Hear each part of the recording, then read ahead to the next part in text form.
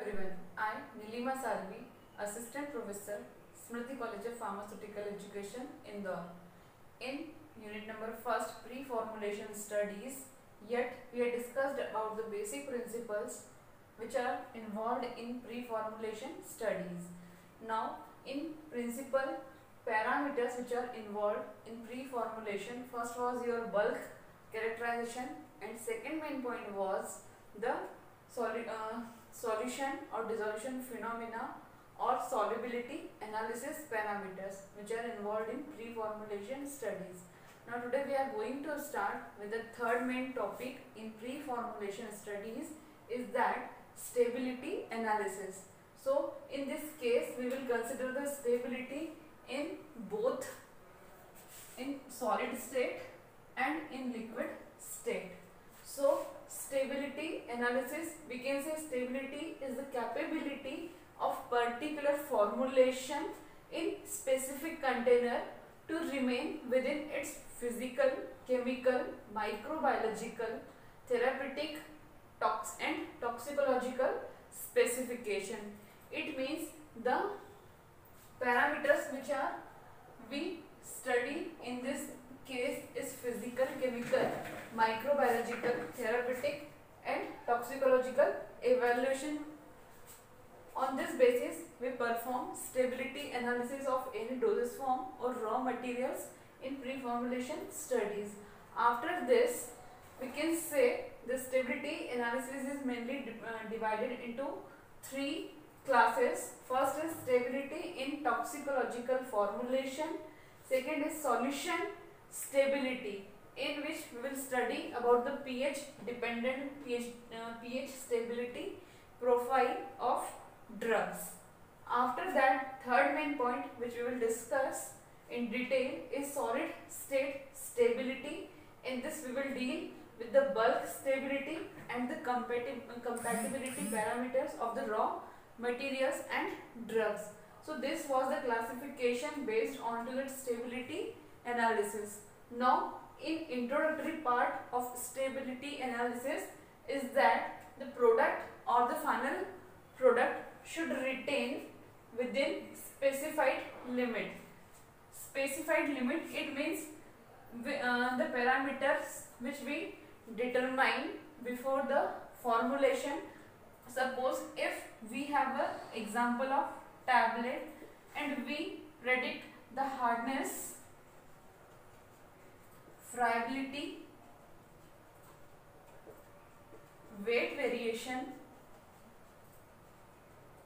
assay, disintegration and dissolution parameter. If the tablet is coated or uncoated type of tablet, then the dissolution profile would be different in both the cases. In uncoated, it would be up to 15 minutes and in coated tablet this could be up to 1 to 2 hours. In case then in this now the parameters which are hardness friability weight variation assay disintegration and dissolution. Now we predetermine these parameters that the result or the result would be this disintegration would be in this much time and dissolution would be in 30 minutes or 40 minutes weight variation is that और the label claim of the tablet is 500 hundred M G so through assay we can assay the label claim of the tablet so this was data which is predetermined so the product should be within the limits it means वो limit में होना चाहिए अगर हम limit set करते हैं कि आपका कंटेंट जो है वो if we suppose if we are saying that 500 mg tablet so the range is for 5 is plus minus 10 percent. So it means from 490 to 510 mg so label claim must be or it must not less than 490 mg and it should not be more than 510 mg so in between this the labeled claim value could be uh, there. So through its period of storage and uses can be determined. So up to what time the product will retain its specified properties so it would be its storage and use if suppose if i am saying that the syrup or any product or any dosage form is having shelf life of one year or two years it means the results which were at the time of manufacturing. Manufacturing के time पे जो हमें evaluation parameters के result हमें मिलते हैं, वही result उसके अप टू टू ईयर और थ्री इयर्स मिलेंगे। इट मीन्स जब तक हमें वो रिज़ल्ट मिलेंगे that would be its shelf life so this was the introduction of stability analysis next is stability of drug substance is first assayed in or at the time of pre-formulation. So, uh, stability of drug and its excipient or additive is studied at the time of pre-formulation. After that, stability and compatibility with various solvent, buffer, solution and excipients. Consider for formulation development. Is it means in the stability phenomena we will discuss about the compatibility. Compa compatibility should be there in between the formula uh, compatibility of API or drug along with the its additives or another excipients which we will use into manufacturing of any dosage form. So the compatibility into the formula along with the solvent constituents or solvent additives we will find out the compatibility of solids and liquids solid and solids, so liquid and liquids. So, if the formula is compatible, then we will go for the manufacturing of the dosage form. And after that, when we will find out the compatibility into the formula, then we will study this five types of stability. There mainly five type of stability that must be considered for any of the drug और API हम किसी भी API या फिर drug के लिए ये पाँच तरह की स्टेबिलिटी फाइंड आउट करते हैं। So first is chemical stability so chemical it means the drug retain its chemical integrity and labeled potency if suppose we are saying that the labeled potency is this much so it should retain or possess that much labeled potency. Uh, in this we are talking about the drug or API. So the labeled potency must be in specified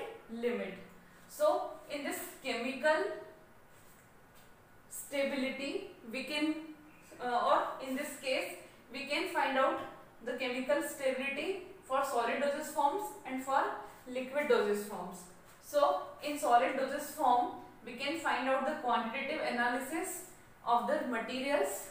So, this would be chemical stability in between the components and in case of liquids, we can study the components of the liquid formulation and in this again there would be some solids along with the liquids.